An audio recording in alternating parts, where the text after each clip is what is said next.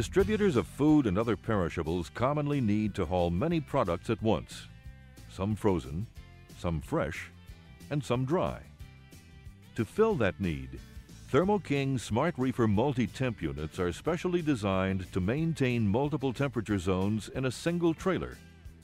First, this video will examine the capabilities of the different types of Smart Reefer multi-temp systems. Then the recommended operating, pre-cooling, loading, and delivery procedures will be presented.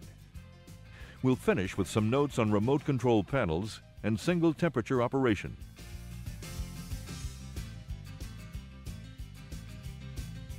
Units may start automatically anytime the Zone 1 host switch is turned on. Always turn the Zone 1 host switch off before opening the unit doors. Read the operator's manual, including the section on safety precautions before operating the unit. And be sure to observe all safety decals.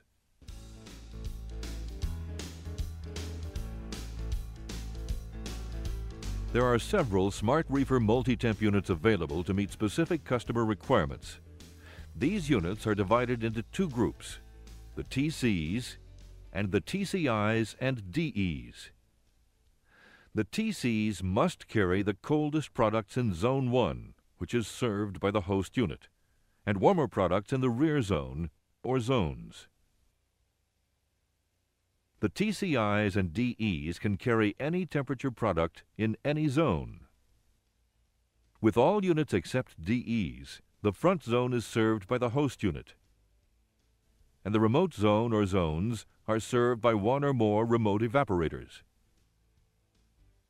If a zone is large, it may require two remote evaporators. If dry goods are to be carried, they should be placed in another zone and separated with bulkheads.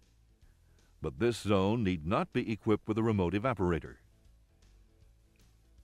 With DE units, the host unit is equipped with two separate evaporator coils and is used with a bulkhead that runs the length of the trailer. A third zone served by a remote evaporator may also be added. Insulated bulkheads are used to separate the zones. Damaged or improperly installed bulkheads may prevent the zones from maintaining satisfactory temperatures. Or, products near the bulkheads may be damaged. Some trailers feature side doors as well as rear doors to allow easier access to all zones. The unit can be identified by checking the serial number plate on the unit frame. For example, this is an SB330TC3.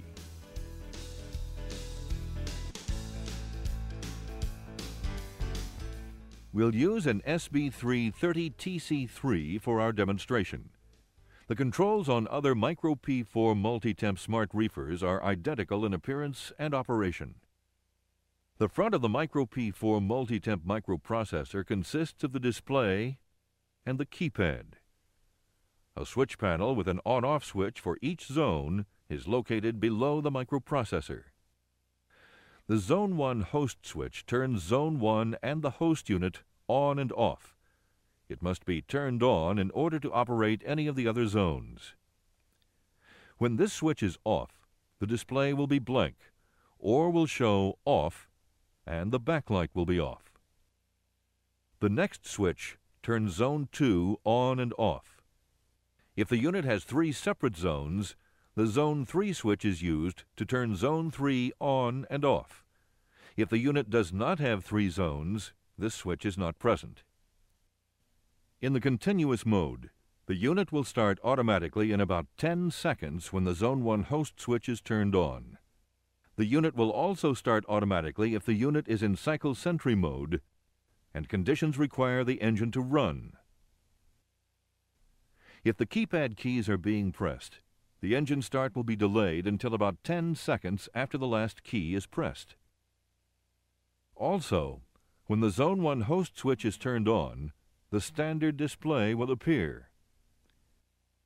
This display consists of the box temperature and set point for Zone 1. After 10 seconds, Zone 2 will be displayed. The display will show the box temperature and off in Zone 2. if Zone 2 is turned off, or the Zone 2 box temperature and set point if the zone is turned on. If the unit has three zones, Zone 3 will appear next, also for 10 seconds.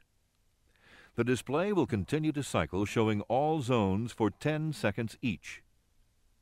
The sides of the display show the system operating conditions or modes. Symbols or icons will appear on the display whenever an operating condition or mode is active. The cool icon will light when the zone being shown is cooling. The heat icon indicates that the zone is heating. When the defrost icon lights up, the zone is in defrost. The high speed icon means the unit's diesel engine will run in high speed unless other unit requirements prevent it from doing so. When the unit is in cycle sentry mode, this icon will light up. The alarm icon will be on or flashing whenever the microprocessor has detected an abnormal condition. As shown earlier, the zone icons indicate which zone is currently shown on the display. The keypad is used to operate the unit. This group of keys display unit information. When a key is pressed, the information will remain on the display screen for about 10 seconds. The screen will then return to the cycling standard display of box temperature and set point for each zone. Pressing the hours key once will display the total hours hour meter.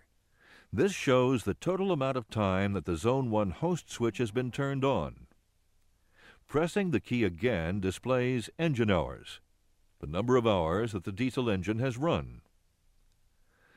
The total hours Zone 2 hour meter shows the hours that Zone 2 has been turned on, and the total hours Zone 3 shows the Zone 3 hours.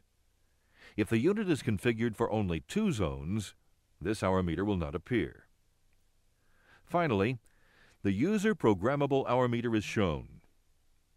To check the engine oil pressure, press the oil press key. The water temp key is used to display the unit's engine coolant temperature. Pressing the amps key will display the amount of current flowing to or from the unit battery. A minus sign indicates a discharge condition.